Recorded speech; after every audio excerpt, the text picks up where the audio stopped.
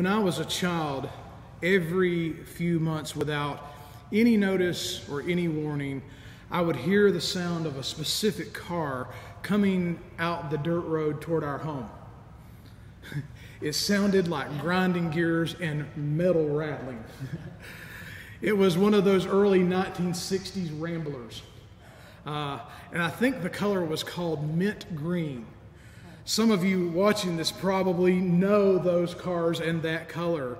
Uh, it was a unique color for an automobile. And as soon as I would hear this car, I would run out into the yard if I was not already playing outside because the car would pull up into our driveway and an old man named Reggie would get out of the car. Reggie looked like a tall, thin Keebler elf. Uh, he looked a million years old. But he had a kind face, and he always wore this blue ball cap. Reggie only ever came for one purpose. He would get out of his car and he would bring me a small paper bag, brown paper bag, full of pennies. Uh, it was all the extra pennies that he had accrued over several months.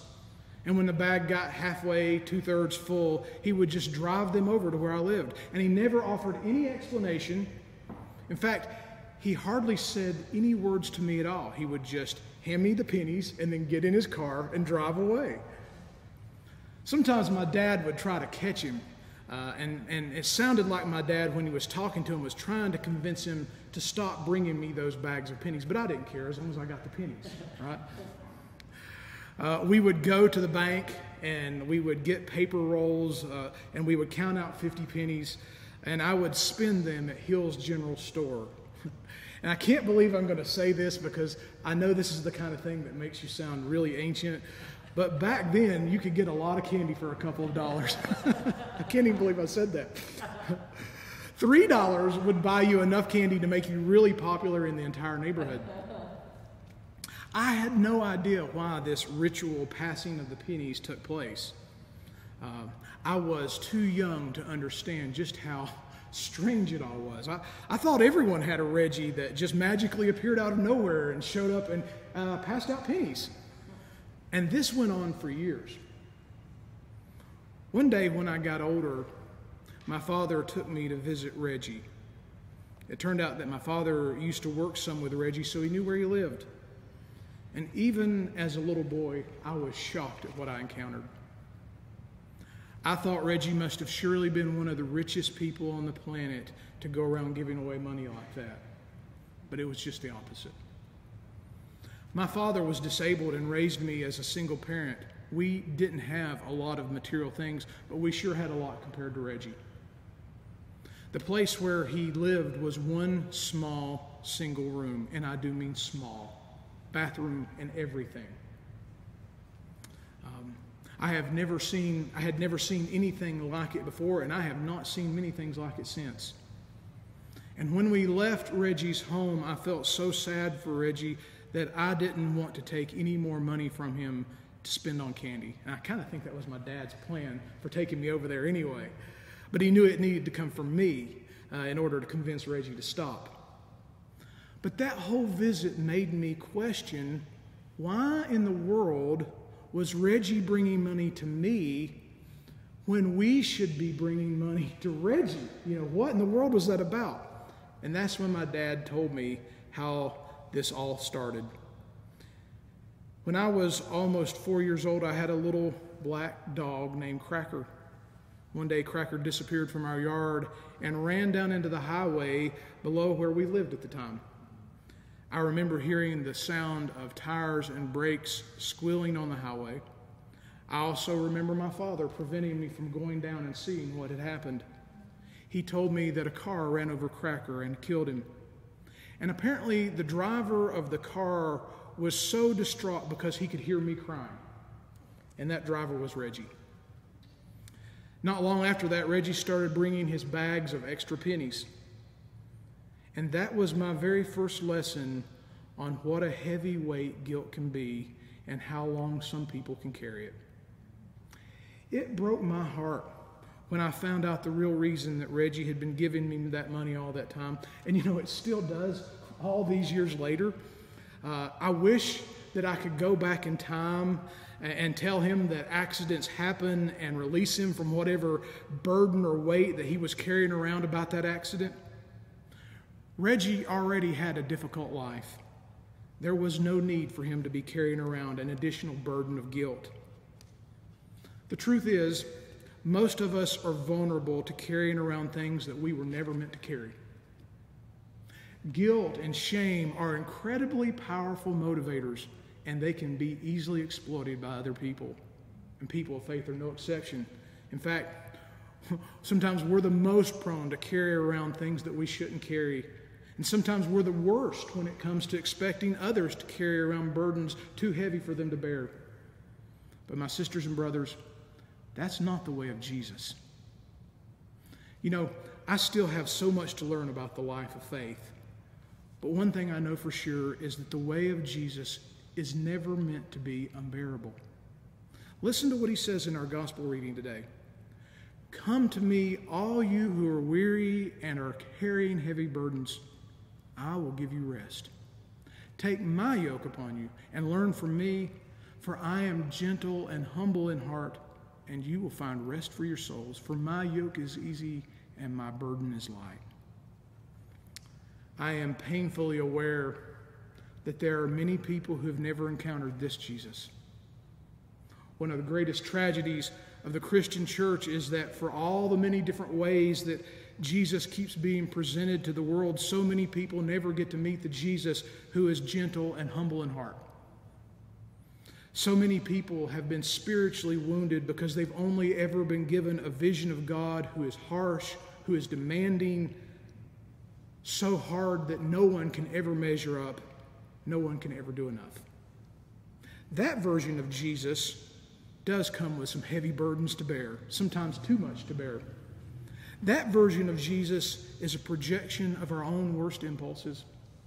That version of Jesus is often constructed from the guilt and fear that people carry around in their own souls. And that version of Jesus keeps showing up time and time again throughout the centuries in all kinds of faith traditions. And that version of Jesus is nothing like the Jesus we meet in today's gospel. If you are watching this broadcast, or if you can hear this broadcast, and you have been hurt or pushed away from faith in God by a portrayal of God who only has heavy rules and guilt inducing expectations, I want to introduce you to the Jesus whose yoke is easy and whose burden is light. I give thanks for the kindness and welcome of people who introduced me to this Jesus at a time in my life when I was literally and utterly burned out on faith and wanted nothing to do with the church. I was so weary with it all. I remember telling my wife, I don't think I'm ever going to walk in the door of a church again. But there were people who introduced me to this Jesus and literally loved me back into the fold. And they caused me to finally hear good news. You see, the greatest evangelists the church ever has aren't the people who are always talking about Jesus the most. They're not even necessarily skilled orators or theologians. They're the ones whose humble and gentle lives represent the Jesus we meet in today's gospel. They're the people who welcome others who are carrying heavy burdens.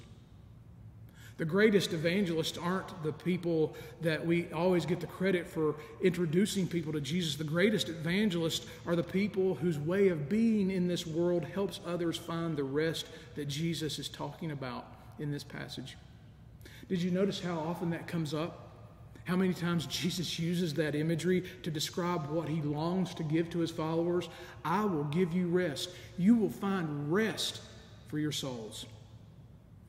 So, my honest question is this, and I'm not trying to be mean, it's just an honest question. If the good news of Jesus Christ is supposed to lead to rest, then why is his church constantly exhausted and weary? Perhaps we need to get reacquainted with this Jesus. Perhaps we're trying to carry more cargo than we are ever supposed to carry. Come to me, Jesus says, all you who are weary and are carrying heavy burdens. I can't think of any invitation that's more relevant to the times we find ourselves in right now than that. I told my wife the other day that it feels like, honestly, sincerely, it feels like I've aged 10 years in the last six months. she didn't tell me whether she could tell I look like it or not, but it feels like that, right? We are all carrying such heavy burdens and the weight of so many things right now.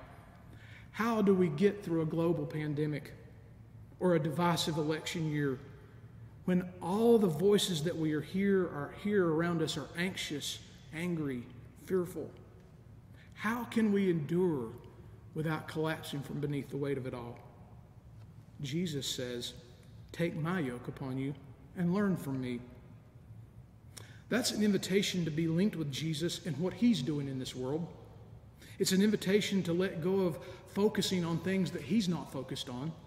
It's an invitation to stop listening to every fearful voice that wants to scream for our attention and simply move with Christ in the direction that Christ is moving in this world. Barbara Brown Taylor writes about this passage and she says, if you've ever traveled the world or even if you've read National Geographic from time to time, you know that there are two basic kinds of yokes that can be used to bear burdens single ones and shared ones. The single ones are very efficient. By placing a yoke across the shoulders and fitting buckets hung from poles on each side, human beings can carry almost as much as donkeys. They will tire easily and have to sit down and rest and their shoulders will ache all the time, and their backs may even give out. But still, it is possible to move great loads from one place to another using a single creature under a single yoke. A shared yoke works quite differently. It requires twice as many creatures for one thing, but if they're a well matched pair, they can work all day without ever laying their burden down because the yoke is a shared one. When the day is done, they both, both may be tired, but neither is exhausted because they work as a team. And then she goes on to say, Plenty of us labor under the illusion that our yokes are single ones, that we have to go it alone, that the only way to please God is to load ourselves down with heavy requirements, good deeds, pure thoughts, blameless lives, perfect obedience. All those rules we make and break and make and break, while all the time Jesus is standing right there in front of us, half a shared yoke across his own shoulders, the other half wide open and waiting for us. A yoke that requires no more than that we step into it and become part of a team. My sisters and brothers, I don't know what the future holds. I don't know what's the, on the other side of all that we're experiencing right now. But I do know where we can find wholeness and I know where we can find the rest for our souls as we make this journey. It's called the yoke of Jesus, the way of Jesus. And it is a choice to make our lives about what His life is all about right now. It's not about guilt or fear, it's about love. It's about serving others right here in front of us who are also weighed down and struggling. Jesus invites us to be yoked with Him. Think about that. To be yoked with Him in the work that He started in this world 2,000 years ago. And in order to do that, we may have to let go of some things that we've been carrying for a long time. But here's my promise when we finally start to carry what we're meant to carry, and when we finally start to share the load with who we're meant to share it with, it can make all the difference in the world.